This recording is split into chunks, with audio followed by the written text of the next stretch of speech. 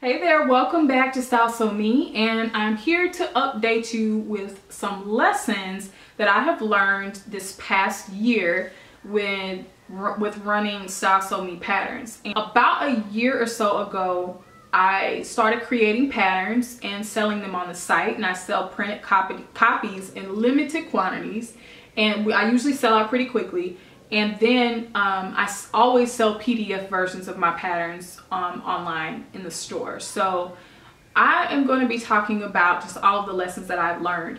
So I think I've done like two videos with like sewing business lessons learned and things like that. But I have even more things to share and I really, really love sharing these things and seeing your comments because even though even though those are old videos um, every day I'm still getting comments and I love to reply and just have that interaction with you. So I want to update you on some of those things. So let's go. So number one is don't be afraid to pivot. The thing with pivoting, a lot of people like to stay, no, I'm going to do this. This is my vision. I'm going to stick it out and everything is falling down around you. But I mean, think about it like this. Would you stay in a relationship with a partner that is just absolutely not working like no you got it gets to a point where you have to pivot. You have to be like you know what? I love you but this ain't working. Like I wanted this to work but it's not working. I have to pivot. I have to move on to something else.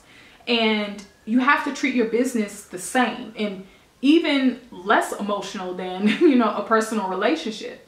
The thing is is that out of all the books that I've read and podcasts that I've been listening to many successful entrepreneurs have pivoted from their original ideas and they have also had multiple attempts at businesses that have been successful or maybe they ended those businesses with some lessons learned. I don't necessarily want to call it failures, but let's just say they ended the business relationship with more lessons learned than successes. So I'll leave it at that.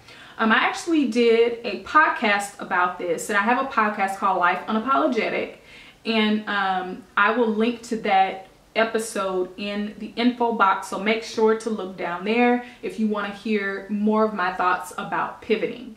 Even Style Sew Me Patterns was born out of a pivot. My original business was a clothing line for, for tall women and that did not end well for a variety of reasons and I took the designs that would have been the next collection for that business and I made patterns. So it was a pivot. I didn't walk into, you know, starting Style Sew Me and was just like, oh, I'm going to start designing patterns. That thought never occurred to me. It I fell into it. It was a pivot and it's working. So um, just don't be afraid to do that. Now, understand that when it comes to pivoting, I'm not just saying, oh, this is hard, I'm to give up. No, it's to be hard, you know, but I'm saying if you've given it your all, your 100,000%, and it's just not working, then it's time to maybe mm, click on over here a little bit and try this and see what happens. You know what I mean? Or maybe tilt this way and try something, just see what happens. I mean, because at this point, what do you have to lose, right? So number two is always, always know your costs, your expenses for your business. These costs can range um, farther than just what it costs to make one product, right? It's about your monthly expenses. How much is your website hosting? Um, how much are you paying a year in sewing machine or equipment, whatever your equipment is? How much are you paying in maintenance for that? Um, you know, your time. Like get a very detailed and granular analysis of your finances and look at that at least monthly. And the reason you want to do that is because it'll help you determine where you can save because you may not realize how much you're spending. It'll also help you say, help you realize where you can invest more. You're like, okay, we, we did good. We stayed under budget most of the way. You know, we saw some increase in sales. Our expenses were level. Let's ratchet up the marketing budget a little bit. You know, things worked out these past few months. So um, always be very in tune with your expenses. Another reason that you want to do this is because when it comes to collaborating and partnerships and, you know, working with influencers and other things like that is um, you need to know what your wiggle room is. And expect that as a starting brand that you may not have as much wiggle room as someone else who's been around for a few years. And so when you go and you and this is assuming that your prices are uh, your prices are where they should be. If you're struggling with pricing, I have a video on that as well. Uh, I'll put that in the info box as well. But assuming your prices are where they should be, then you already know what your profit margin is. Then you know how much you can pay an affiliate or how much you can pay an influencer if you can afford to pay them at all. How much you can budget for Facebook ads or whatever the case may be. If you don't know this and you're going into it blind, you could be like bleeding money and have no idea. And then you look up at the end of the month and you're just like, where the heck is my money? Because you, you're not keeping track of it. You have to really understand that. Number three, this is an old saying, but it is hire slow and fire fast. I have worked with several different contractors over the different um, pattern launches that I've had over the past year or so. It only took one time for me to have the experience of not firing fast enough.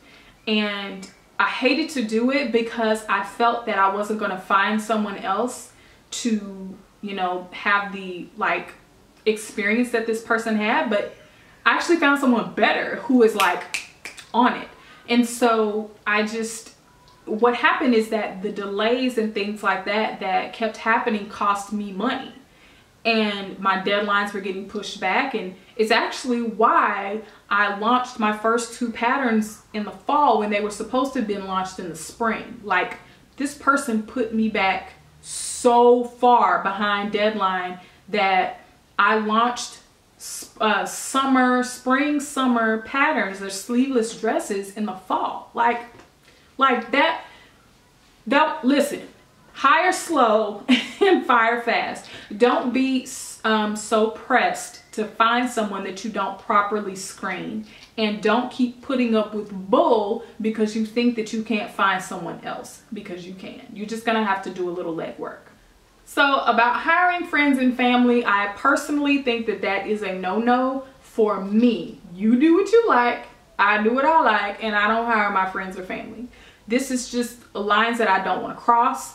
Erica the friend is different from Erica the boss. I'm very deadline driven and now that I have had some experiences working with several different people, some that have gone well, some that have not gone well, then I, I know the feeling of having to have a conversation of this isn't working and we need to part ways. And so having to do that, and most recently, um, with someone that I thought was going to work out very well and it just it just didn't I was glad that I can sever that relationship and then I don't have to speak to you anymore so when it comes to friends and family I just don't want to get to that point where we have to have an awkward conversation about performance or or you know worse come to worse about separating professionally and then things are just weird so I just don't even fool with it that's just my personal opinion. I know many family owned businesses are very successful. You have couples that work together, siblings that work together all the time. That's just not my jam. That's just my two cents on it.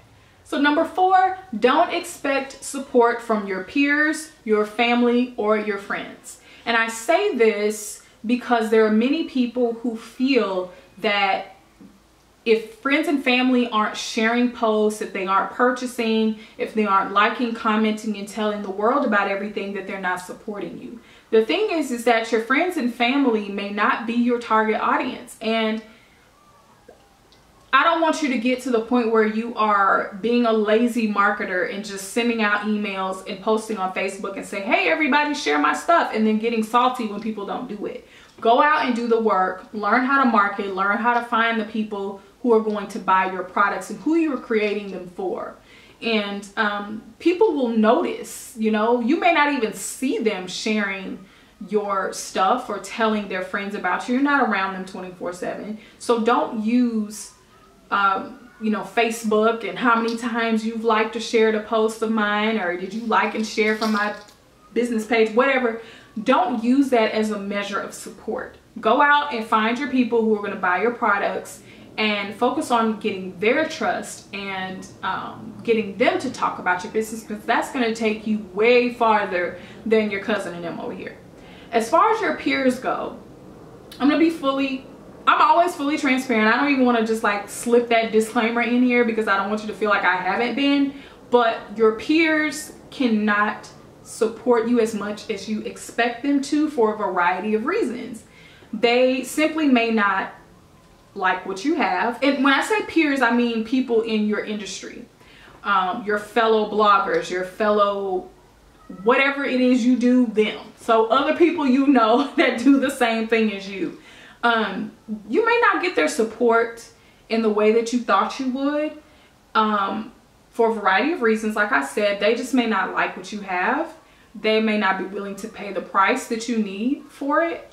Um, they could be hating just a little bit you know it's a possibility i'm just being honest because the thing is is when when someone has seen you when you started and they've seen you like grow to what they perceive to be a level of success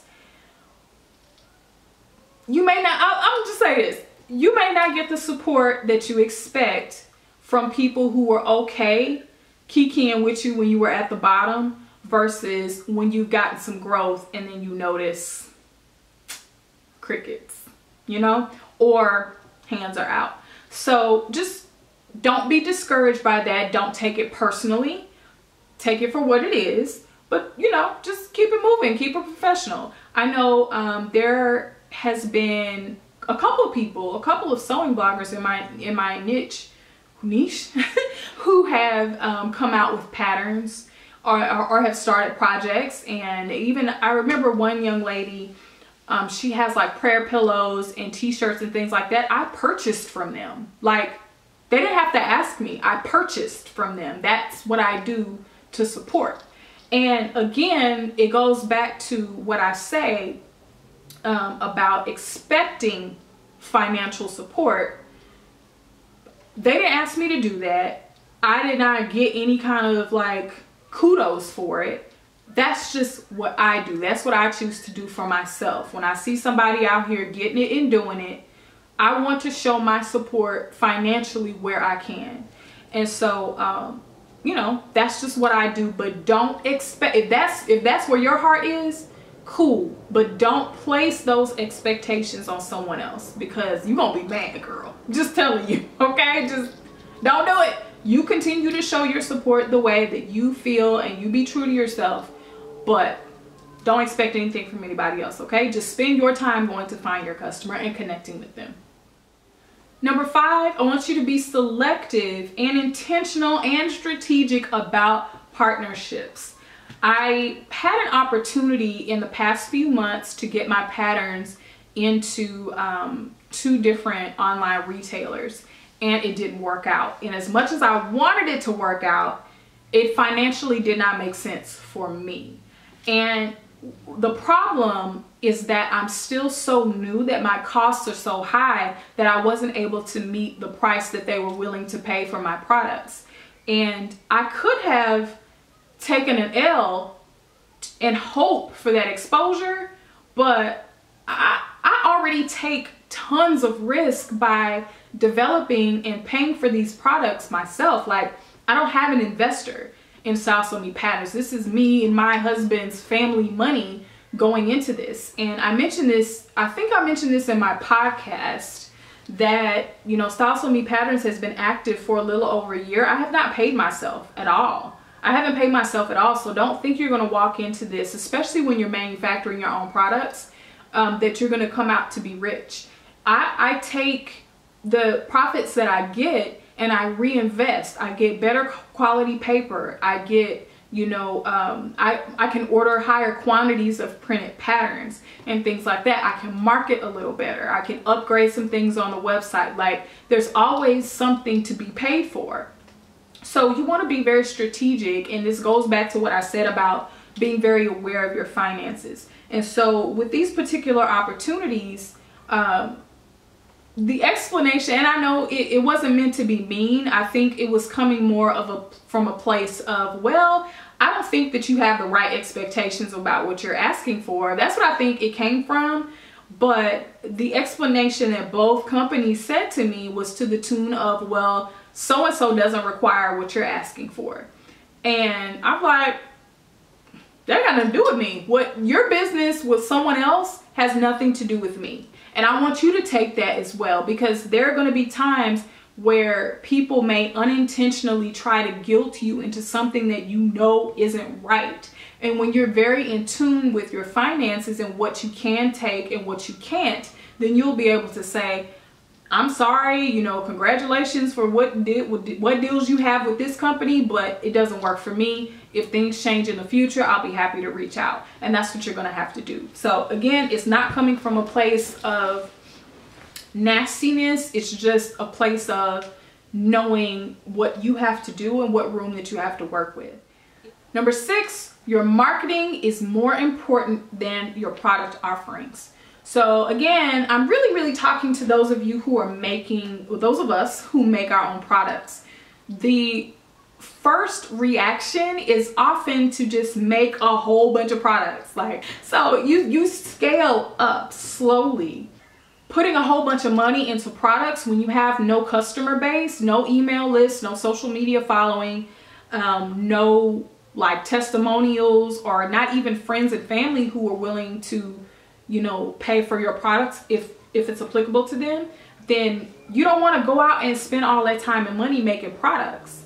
Um, you want to get just like enough to like five or six if you're just starting out and then you want to work on marketing and building that brand awareness and it may feel that you are marketing the same products over and over again but to say for instance you you sell like five different types of skirts that you make. Change up the fabrics, you know, add, you know, it may have a pleated, you may have a pleated skirt, change up the pleat size, you know, make it a high-low skirt.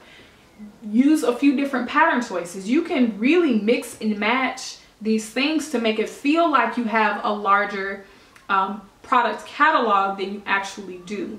It's just, you know, adding options, variants, colorways, and things like that to make customers feel like, oh, okay, let me come in here and look around and see what's going on. But again, know your numbers and don't always think that adding more products is the solution to slow sales. Your solution to slow sales is more marketing. Number seven is connect with people who have a similar business model but who, are, who is not direct competition to you. The reason I say this is because you want to have someone who understands the type of business that you have and kind of like their business buddy to kind of bounce some things off of. Like we just freely pass information and resources back and forth to each other because there's that, not that subconscious feeling of, am I talking too much? Find your business bestie somebody that's not in competition with you but has a similar business model. Number eight is create more than you consume. This is a phrase that I like to say I coined, but I don't think I did. I, am not that original, but create more than you consume. And so when I'm talking about this, um, my thoughts go to being an influencer or a blogger versus a, um, a store. If you want to be a store, then you need to be more intentional about creating content that amplifies your store, your products, your brand, your message. If you are an influencer, then you are going to create things that are owned by multiple brands because you are trying to get your message spread to anybody that is relevant. And so I would say an influencer is more broad in their coverage of, of creativity and then a store is more narrow. So it's just different lanes of, of focus and once you identify where you want to be, then this will help you create more than you consume because if you are if you want to be a store but you're out here spending time and money blogging on other people's stuff then you are a consumer. You are consuming other people's things instead of focusing on building your own stuff. Vice versa, if you want to be um, an influencer and you want to work with multiple brand campaigns, but you are not out here showing love to other brands and posting and doing things, you know, for free sometimes, because that's what you gotta do when you start, um, then you're not going to have as much influence across the board because you can't be a selfish influencer. You gotta show love wherever you can show love, okay? So just kind of pick which lane you wanna be and then set some goals from there. If you're going to be a store, then you may have to be like, oh, I really want to, you know, blog about this other store. But think about all the time that you're taking to create content for somebody else that does nothing to add to your bottom line. So think about that. So our last tip, number nine, is to build in some accountability for the days when you just don't feel like doing anything. This is especially true for those of us who have another source of income and like a full-time job or whatever the case may be and you're just like i don't have to do this like i'm tired i'm just gonna go get some cheetos and sit on the couch and watch netflix for the next four hours like i get it. I told you at the beginning of this when i needed a break i took several months off to recharge. So i get it. But you are gonna have to still stay in tune with your goals when it gets to a point where you just i can't do this. Like i'm not motivated. And I think the message that's being passed around right now is that it's going to always be, oh, I'm boss mode, I'm boss girl, whatever the case may be. And I'm going to always want to do this. I'm going to always be passionate about this. No, there are some times where I have thought like, I could sell all of this crap and not miss it at all. Like I have been over it. I'm telling you, by the time I finish producing a pattern and getting it out, by the time it hits um, the store and is live, I am over it. I never want to sew that pattern ever again because by the time that you see it on sale, I have made that pattern at least seven times. Like I'm over it. The testing process, the getting the samples ready for photography, the blog posts, all of that. Like I don't want to see it, child. So there are going to be days and it's okay for you to admit that. Don't let social media make you feel like you have to be super pumped and excited about your business all the time because that's not, it's just not the, the case. You're not going to be happy about it all the time. Even, you know, in your, your regular job or whatever it is that you do outside of your business, there are going to be days where you might like your job and you like the people that you work with, but you just don't feel like going. You just want to call in sick and stay in bed and eat pizza and just chill. You know, it's going to be the same way for your business. So um, write down your goals, write them down frequently, and do a vision board. Do whatever it is that you need to do to stay in tune with whatever purpose that you think that you need to fulfill because you're going to need it, okay? So I want to just give you permission to feel those feelings of, oh my God, I need a break. But I also want to give you a kick in the ass to say, all right, now that you've felt those feelings, now that you've taken your break, what is the next move? All right.